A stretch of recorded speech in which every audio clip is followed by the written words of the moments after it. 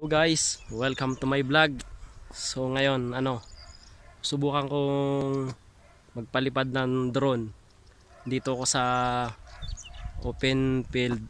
Walang ano, mala- malayo sa bahay, malayo sa sa lahat kasi first time kong first time kong magpalipad ng drone. Ah, tara, samahan niyo ako.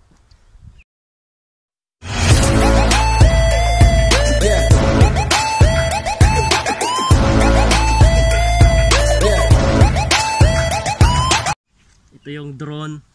Tapos ito yung remote control. So i-open natin yung drone para ano para mag-connect siya sa controller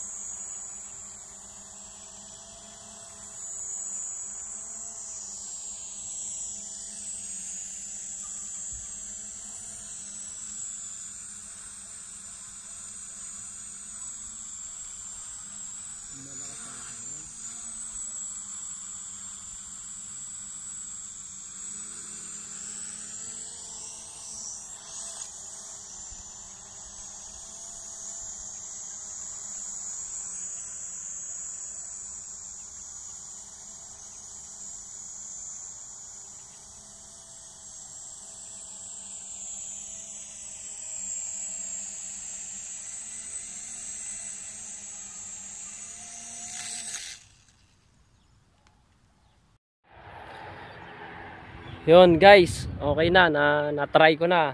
Medyo mataas na rin yung narating niya. Kaya lang unstable talaga siya pagdating sa ano? Pagdating sa taas gawa ng mahangin. So ma- magaan lang kasi yung yung drone ko. Tsaka yung battery niya ano ah, medyo madali siya malubat. Kaya ano na, end mo na muna yung trial ko dito sa drone. So, bye-bye.